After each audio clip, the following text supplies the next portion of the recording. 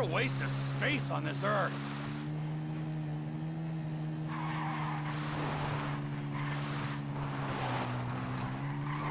Oh, shit!